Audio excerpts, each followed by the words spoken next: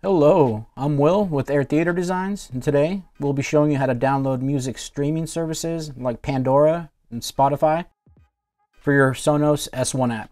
Keep in mind this is for older Sonos equipment. If you have newer Sonos equipment, check out our video with the S2 app. All right, all right. First things first, let's make sure you have the S1 app. If you have an iPhone, you can download it via the App Store. And if you have an Android, use the Google Play Store. Okay, looks like everyone has the S1 app. Let's go ahead and open up the app. Now at the very bottom, second to left, you'll see the musical note. Let's go ahead and select it. Then it's going to show all your streaming services. I want Spotify, so you see it's not on the list.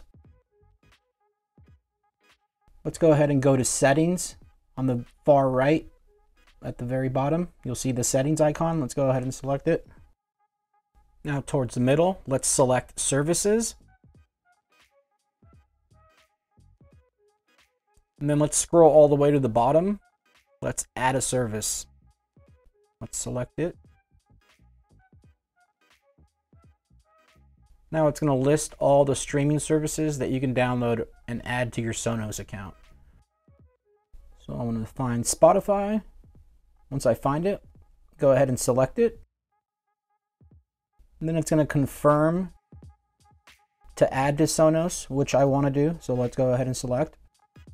Then it's going to bring you to this page. You can sign up for Spotify or connect to Spotify. I already have an account, so let's go ahead and select it.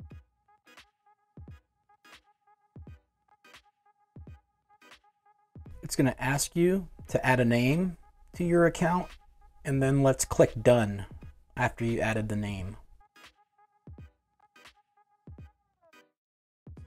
Now you're connected to Spotify. You see your music.